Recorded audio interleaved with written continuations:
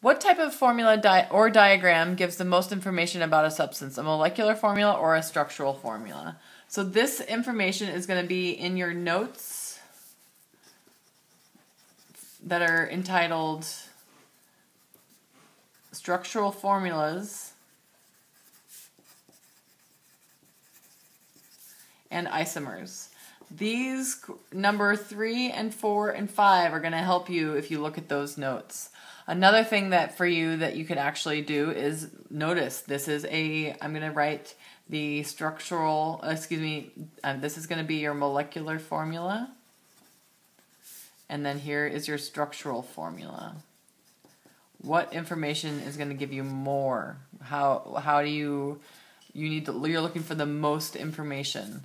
So hint to you, the stuff that shows a structure is going to show you the more information.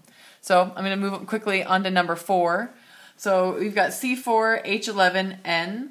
So as a reminder, an isomer is just like an isotope in the fact that it is something, it's the same but different. An isotope from last semester was the same amount of protons but a different number of neutrons. An isomer is the same molecular formula but a different structural formula. So as long as you draw this is this uh, molecule with following the HONC 1 2 3 4 rule, you will then be able to have one of the isomers. So I'm just going to put hydrogens all around here until I am leaving one space because I've got one nitrogen. So I'm going to put a nitrogen here.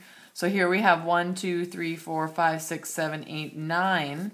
We still need two hydrogens because we have 11 hydrogens here. But check it out. I've got a nitrogen right here. This nitrogen only has one bond according to the the HONC 1, 2, 3, 4 rule. There's going to be two more hydrogens there. And there's going to be a lone pair. So that would be the one, one isomer. Another isomer would be if I move this over. So that's what I'm going to do. I'm going to do four carbons.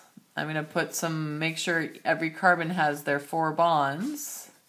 I'm going to put hydrogens around here. So, because now we're not going to put any nitrogen on that end carbons because we've got a nitrogen on this end carbon here.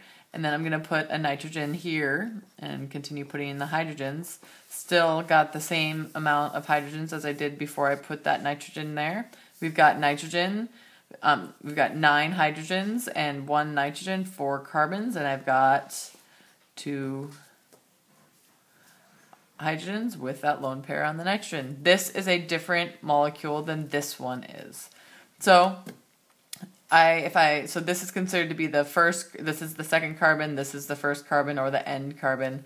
Here is your third isomer. So you've got two carbons knowing that nitrogen actually needs to have a three bonds, we can put those three bonds between. That is just like how you were working on your HONC one, two, three, four rule. So the, that assignment that you did. So here you have it on the second, here you have it on the first or the end, however you want to frame it, and here you put it between. So I'm going to put, I'm only going to do three bonds about that nitrogen. I'm going to do those lone bonds, lone pairs, excuse me. And we've got some hydrogens all coming around here. And here we have at least three isomers. There is a fourth isomer. I'm not going to draw it for time's sake, but the, those are the three isomers that you would be able to draw. Um, on the assessment, hint, hint, you only need to be having to draw two isomers of a molecule. So number five, explain how a substance of a molecular formula C5H10O2 can have two different smells. Use the words isomer and structural formula. Do you think that these two have these both all three of these have different structural formulas but they have the same molecular formula? That is an isomer. I am not going to go into detail about number five. That is something that you can look back to your structural formula and isomer notes. You can also look to your HONC 1234 rule. So if you um, are wanting to have full credit for this question one thing you could do is look at your picture of the three isomers that you just did These three will smell differently. The reason that they have two different smells or three different smells is because they are structured different. Similar to the analogy that I mentioned to several of you. If I give you 10 logs and 10 nails and some glue, I get 10 logs, 10 nails, and some glue. Uh, we were both going to have the same amount of stuff.